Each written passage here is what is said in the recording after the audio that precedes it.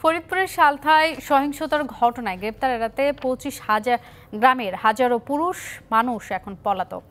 এই কারণে ব্যাহত হচ্ছে পাটের আবাদ থেকে শুরু করে অন্যান্য কৃষিকাজ। সময় মতো ফসলের পরিচর্যা না করায় নষ্টের আশঙ্কা এলাকাবাসীর।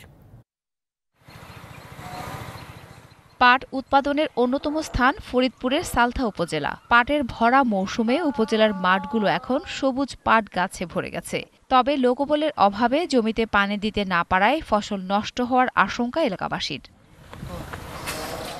গত পাঁচই এপ্রিল সালথা উপজেলা সহিংসতার ঘটনায় আট মামলায় জামায়াত বিএনপি হেফাজতের বাইশ জন সহ আসামি করা হয়েছে সাড়ে ষোলো হাজার জনকে। ইতিমধ্যে অর্ধশত এলাকাবাসীকে আটক করা হয়েছে। পুলিশ হেফাজতে মৃত্যু হয়েছে একজনের। তবে এলাকাবাসীর অভিযোগ, ওই ঘটনায় ঢালাওভাবে সাধারণ মানুষকেও আটক করা হচ্ছে। জমিতে কাজ করতে আসা শ্রমিকরাও কাজ করলে তাদেরকেও আটক করা হচ্ছে। গ্রেপ্তার এড়াতেই পলাতক পঁচিশ গ্রামের হাজারো পুরুষ। হেফাজত জামায়াত বিএনপি জড়িত উল্লেখ করে দলে আসা বহিরাগতরাই দায়ী বলে জানান স্থানীয় আওয়ামী লীগ। বিএনপি জামাত থেকে অনুপ্রবেশকারীরা অনুপ্রবেশ করে আপনার আওয়ামী লীগের বিভিন্ন নেতার ছত্রছায় থাকার কারণে সাংগঠনিকের ব্যাপক দুর্বলতা দেখা গেছে। যে কারণে আমাদের সাংগঠনিক অবস্থা দুর্বল ছিল।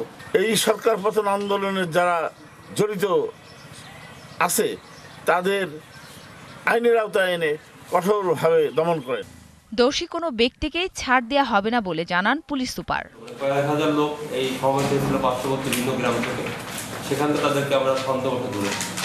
এখন আমাদের ইন্টারভেশন চলছে। সুষ্ঠু সুন্দরভাবে এবং যারা প্রকৃত অর্থ অপরাধী তাদেরকে আইনের আওতা আনতে হবে সেজন্য সার্বিক সহায়তা কামনা করি। দ্রুত ঘটনাটি তদন্ত করে দোষী ব্যক্তিদের আটক করার পাশাপাশি নিরীহদের হয়রানি বন্ধ করার দাবি এলাকাবাসীর। DBC news desk.